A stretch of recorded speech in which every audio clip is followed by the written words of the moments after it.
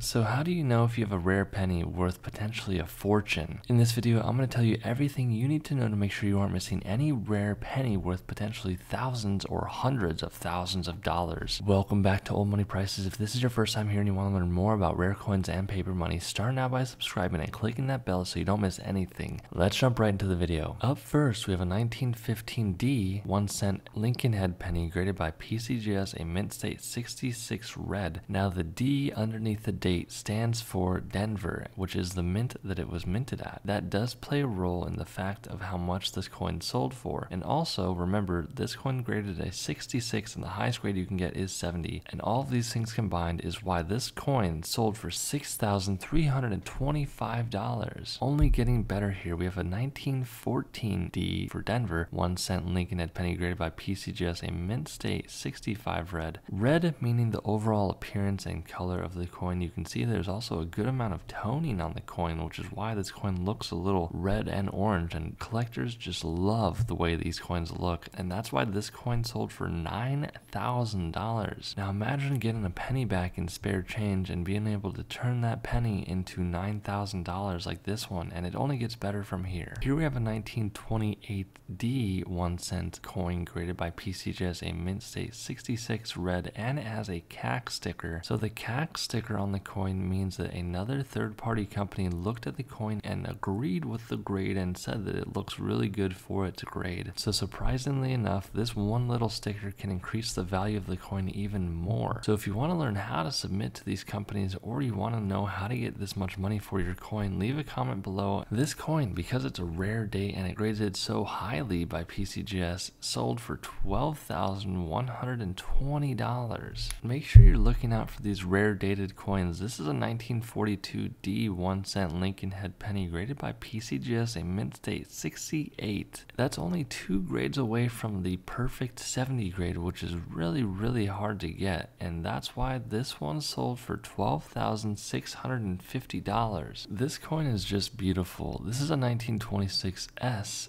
S standing for the San Francisco Mint, graded by NGC, a mint state 64 red. Again, red being the overall luster and tone of the coin, you can tell this coin is just beautiful. And even though it didn't grade that high, it is a MS64, and sometimes the more rare dates can bring a lot more money, even if the grade isn't that high. If this coin would have graded higher, it would have brought a lot more money, but still, this coin sold for $13,800.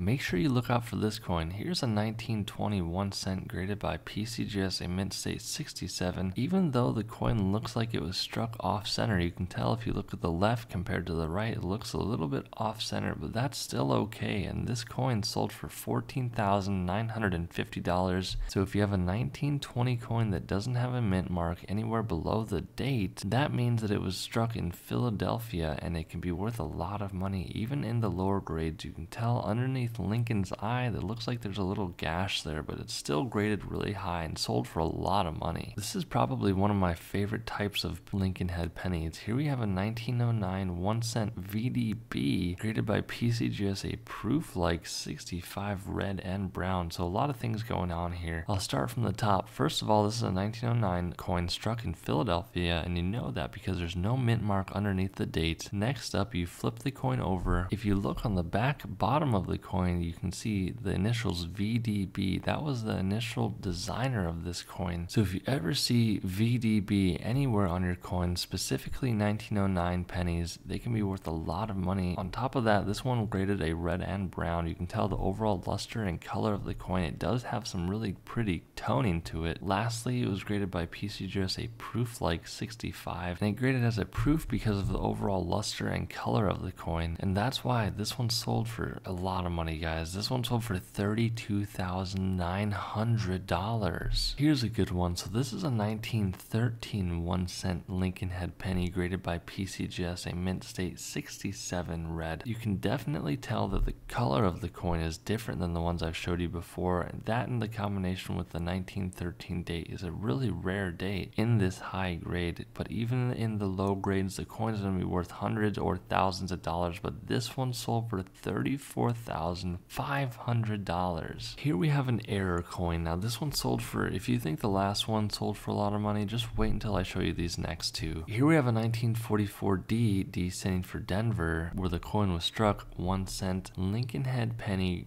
created by NGC, a mint state 62. So not that high of a grade. You can see there's a lot going on here. It looks like there's a little bit of damage and whatnot. But this coin was struck on a steel planchet. Now remember, every 1944 penny should look like a normal penny. It should have that bronze look to it, like a normal penny. The interesting thing is the 1943 coin were all struck on the steel planchets. And in 1944, they were meant to be struck on the normal planchet. So this is an error. It wasn't supposed to go out like this. So again, if you have a 1944 coin and it looks silver like this one, it can be worth a lot of money. So make sure that you don't get ripped off, you don't get scammed. Go to someone that's trustworthy and that knows what they're doing. We have a website where we buy coins and paper money every day. Go to oldmoneyprices.com if you have any questions. This coin sold for $92,000. So make sure you're keeping an eye out. Do not miss this coin. Speaking about missing coins, this is one that can definitely go under the radar. Do not miss this coin. This is a 1943 S S standing for San Francisco 1 cent Lincoln Head penny graded by PCGS a mint state 63 brown. It has the CAC sticker again. This one was struck on a bronze planchet. So every 1943 penny was supposed to be struck on a steel planchet, not a bronze planchet. So this is the reverse of the previous coin I just showed you. So every 1943 penny that you find should be steel. But if you find one that is copper like this, you have something that is potentially life changing money, guys. You're not going to believe me, but this one sold for $504,000. That's right, $504,000, a half a million dollars for this penny that someone probably found out in their spare change one day. Hit that subscribe button, it really does help out with the YouTube algorithm. Stay tuned for more, and I'll see you in the next one.